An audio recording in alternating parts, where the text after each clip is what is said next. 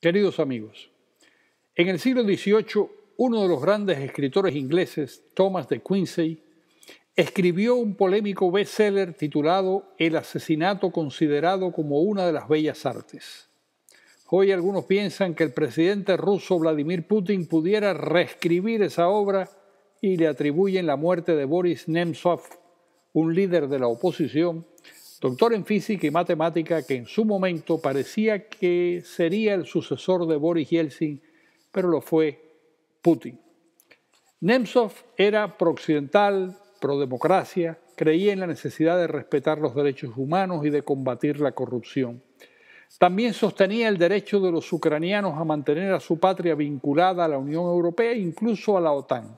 Y decía que quería todo eso para Ucrania porque también lo quería para Rusia.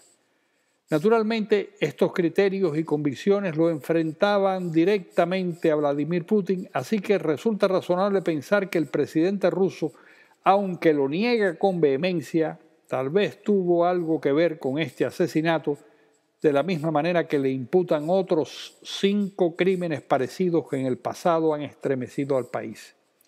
El hecho de que Putin haya sido oficial del KGB, de alguna manera, lo incrimina.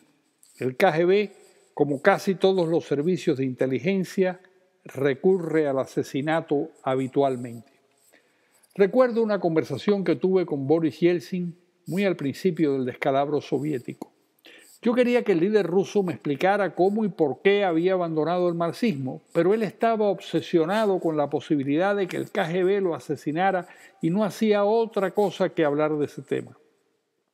Me dijo que el KGB, la policía política, había perfeccionado un aparato que lanzaba ondas de radio capaces de provocar fibrilaciones en el corazón hasta paralizarlo. Él temía que mientras hablaba en alguna plaza, algún agente le apuntara al pecho con esa arma silente, le provocara un infarto y lo matara.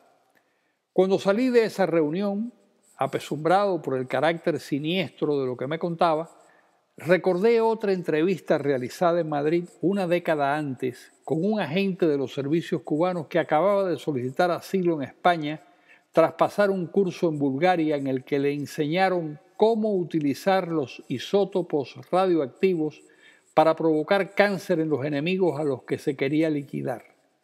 Los isótopos son unos pequeños filamentos me contó que aprendió a manipularlos para colocarlos en las sillas o en las camas de las personas elegidas para morir. Al cabo de cierto tiempo expuestas a los isótopos, las víctimas generalmente desarrollan cáncer en el mediastino, en los pulmones, en la próstata, en algún lugar. No era un método 100% seguro, pero solía dar resultado. En fin, el mundo de los servicios secretos es oscuro y muchas veces sanguinario.